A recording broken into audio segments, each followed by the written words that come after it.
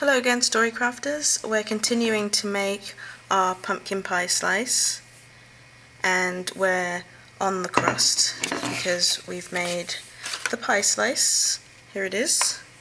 I've made the pie slice and what I've done is I've gone ahead and put the base of the cr pie crust, that's what I want to say, by using um, two eight and, uh, these are about uh, an eighth of an inch of cream cardstock and so I've adhered that those strips to the pumpkin pie slice and uh, just with a PVA glue or all-purpose all-purpose glue.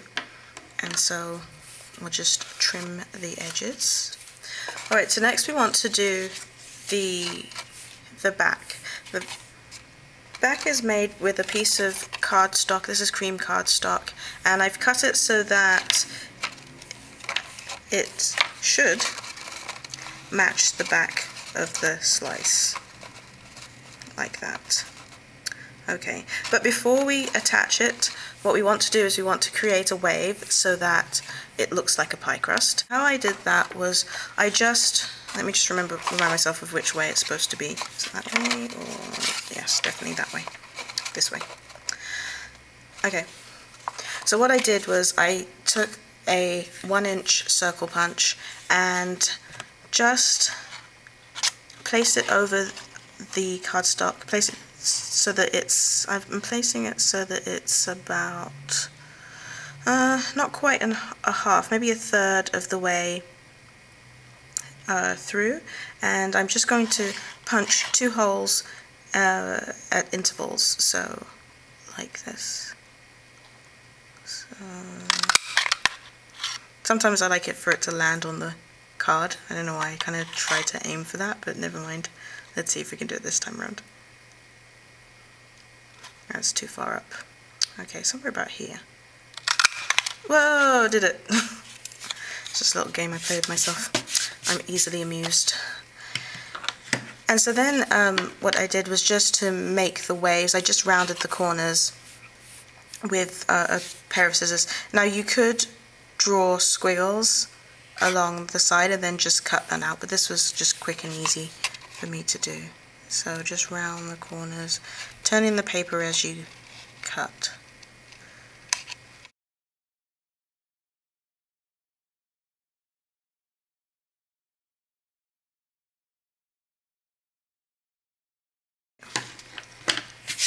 Alright, so to make it sort of look a little bit more pie crusty and like it's just come out of the oven, I'm going to use some Versamagic Pumpkin Spice Chalk Ink.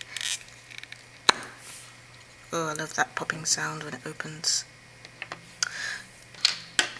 And I'm just giving myself a piece of scratch paper. And I'm going to just dab it with a sponge and then just sponge the edges. Let's see. We got a good amount, yeah, make sure we've got a good amount of ink coming through. And you're just going to sponge the edges.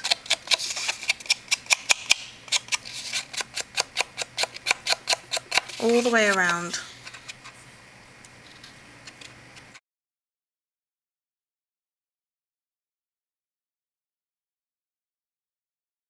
Okay.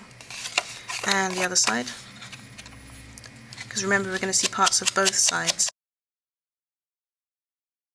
Now, with your sort of drier brush, because you've just been sponging the edges, I'm going to, I think I want this side, it doesn't really matter, but let's make this side the back. You're just going to just brush over in sort of crisscrossy patterns. And what this is going to do is look like it's been in the oven for a while.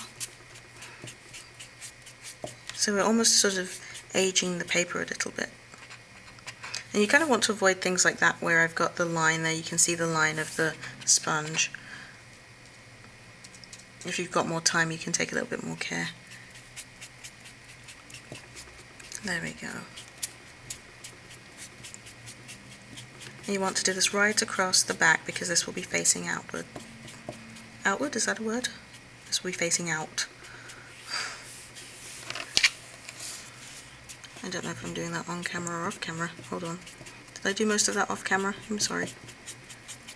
there so it sort of looks like that so it's nice and aged and like it's just come out of a nice warm oven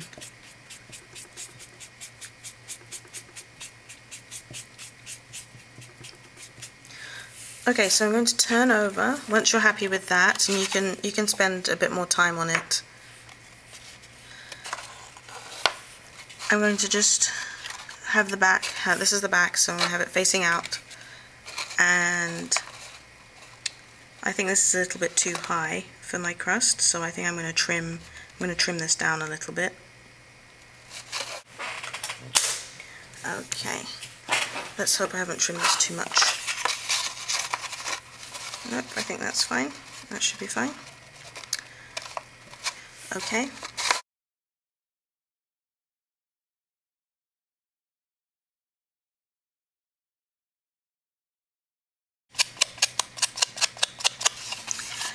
and then I'm going to just kind of eyeball where it, the visible part on top of the slice, which is sort of here, and I'm going to do the same sort of sponging, light sponging on the top part that will be visible.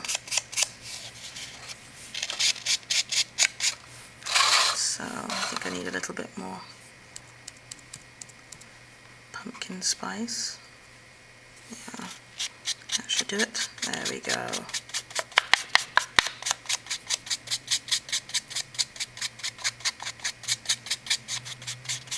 Mmm, starting to look tasty.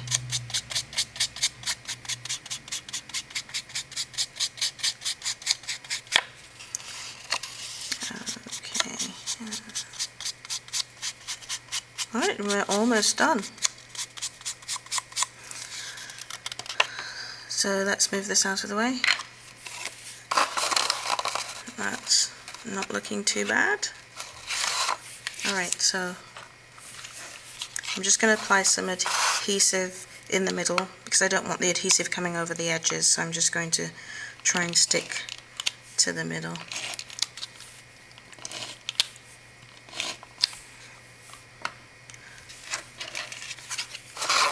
And then, uh-oh, too soon. Alright, and then just attach it to the back.